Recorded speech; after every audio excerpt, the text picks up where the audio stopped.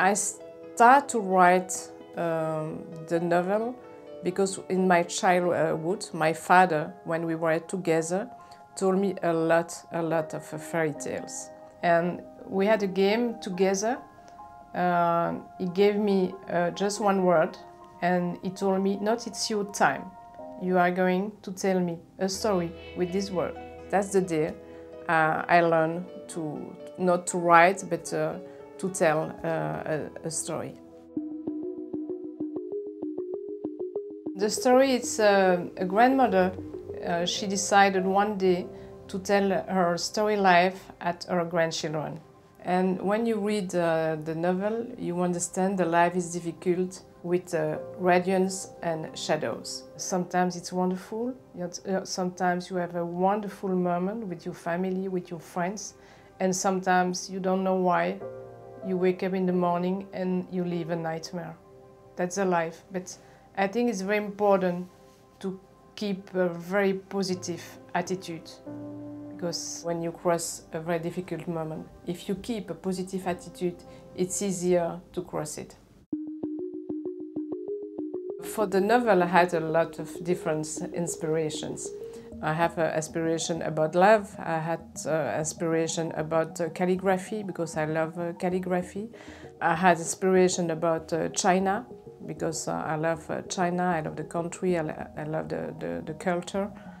And one day I thought, okay, the day I will pass away, I would like to ask my children to respect what I would like to put a blanket on the top of my uh, coffin with all my memories. And I immediately uh, thought that would be nice if I write some things about that, what a grandmother would like to put on his blanket.